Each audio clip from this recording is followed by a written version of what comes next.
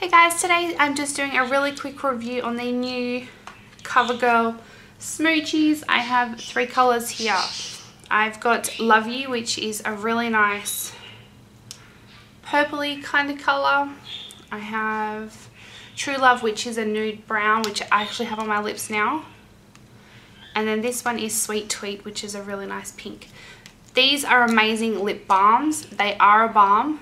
Um, they don't have a lot of pigmentation. Um, this is the brown one here. I have it on my lips. It kind of just fades my lips out a little bit. This pink one here has like little to no pigmentation at all. Um, it's definitely just a balm. The purple one though has a tiny bit of pigmentation and you can definitely tell that you have something on your lips. They are amazing quality and super soft, make my lips feel really nice look really nice and just I'm really happy with these smoochies and I just wish they had more colours. so these are the only three that we can get here in Australia in stores.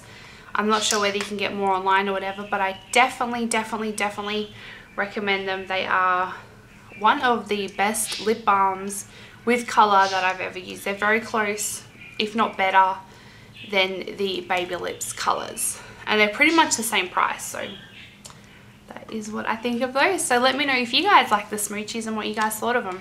Bye!